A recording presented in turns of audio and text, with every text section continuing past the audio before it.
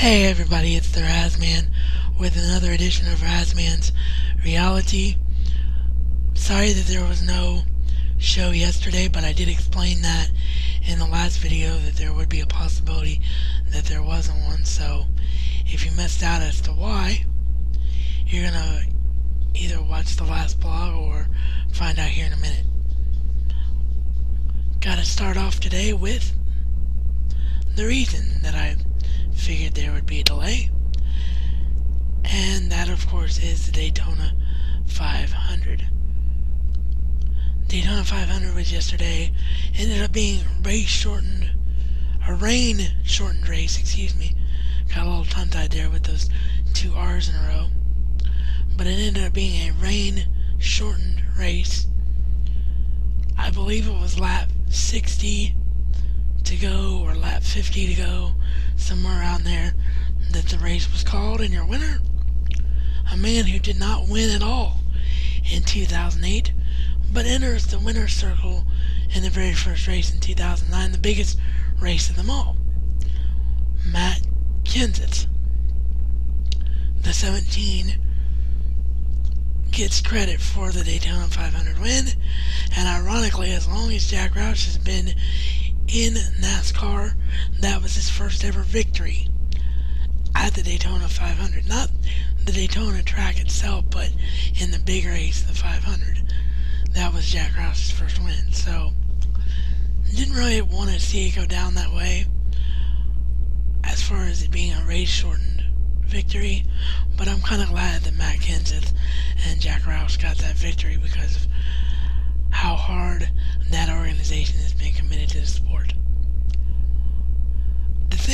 hated the most, and for those of you that know me personally, you know where I'm about to go with this, is the actions or reactions of one Dale Earnhardt Jr., who's my favorite driver.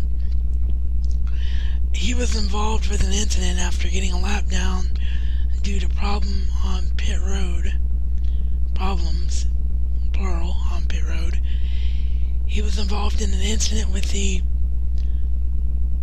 Red Bull, Toyota of Brian Vickers.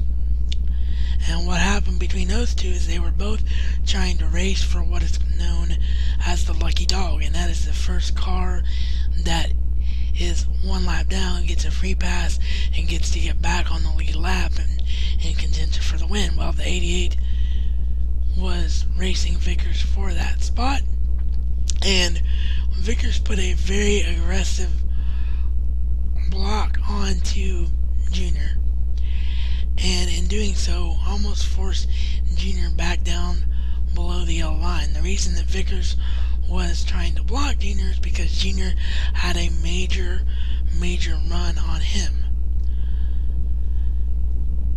Now, some people say it was Junior's fault. Some people say it was Vickers' fault, but what happened as a result of all this was Junior had to turn himself back up onto the track because if you're below the yellow line, which is actually now a double yellow line at Daytona, you get disqualified. So, in order to prevent himself from being disqualified, Junior turns back up onto the track, gets into Vickers, which causes Excuse me, fans, I hate to do this in the middle of a lot, but apparently my sinus drainage is making me cough. Hold on one second.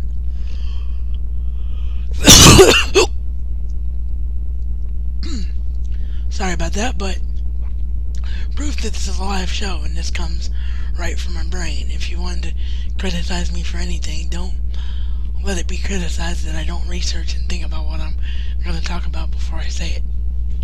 Nonetheless, the incident caused Junior to get into the back of Vickers after he tried to get back on the track and prevent himself from being disqualified.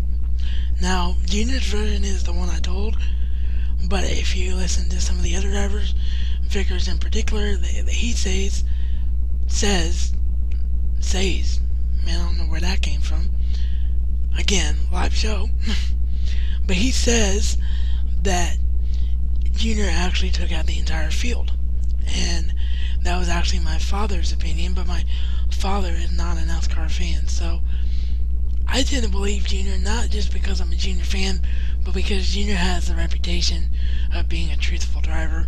When he messes up on the track, he admits it. So I happen to believe that his version is actually what happened. But anyway, as a result of that, he did not win. A lot of good cars, including, and boy, I hate saying this, the 18 of Kyle Busch, were all taken out of contention.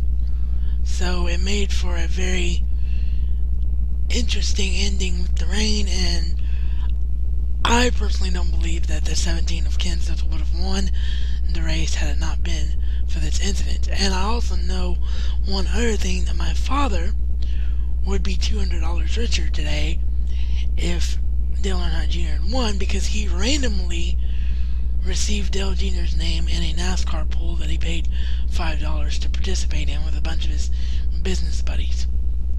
So he would have been $200 richer had Junior won, which was more incentive for me to want to see the 88 in victory lane. It didn't happen. real quickly before we get into No Way Out, if you're looking at the page and you're wondering, okay, well, why am I seeing Razman's reality number 39, I believe this is, if I'm not mistaken. Why am I seeing Razman's reality number 39 and then I'm seeing two other videos after that, or at least one other video after that? Well, the reason for that is that today is going to mark the debut of something I've been teasing and some I'm going to go ahead and attempt to try and see how well it's received, and that's speciality shows. I'm going to do one, possibly even two or three, depending on how long it takes videos on a Blu-ray review of my latest Blu-ray. I'm going to spend the entire 10 minutes discussing that movie. And it's simply going to be entitled the name that you'll see on the video. I'm not going to spoil the video for those of you that didn't watch it first or don't know what it is. I'm not going to tell you what Blu-ray I'm going to be reviewing, but that's what I'm going to be doing. Now, No Way Out last night. The matches went every way that you would expect them to. HBK gets the victory over JBL, so HBK is quote-unquote free from employment from JBL. That whole storyline is over. He's financially secure. All of that. Jack Swagger retains the ECW title in a one-on-one match against Finlay. Look for Captain Charisma Christian to take that title very, very soon, if not this coming Tuesday on ECW. You heard it here first. And the Elimination Chambers were the ones that were really interesting. WWE Championship Elimination Chamber from SmackDown saw Triple H become your new WWE Champion.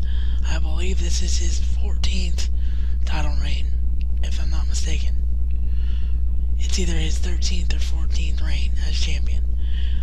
And then it came time for the Raw World Heavyweight Championship Elimination Chamber match.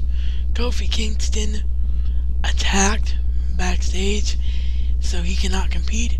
Who takes his spot but none other than Edge, the man who was the WWE champion on SmackDown. If you ask me, it's going to come out that Edge actually attacked Kofi, but nonetheless, and I'm saying that because I actually missed this pay-per-view. I didn't get to see the pay-per-view, and the results of the pay-per-view aren't very clear as far as the written ones.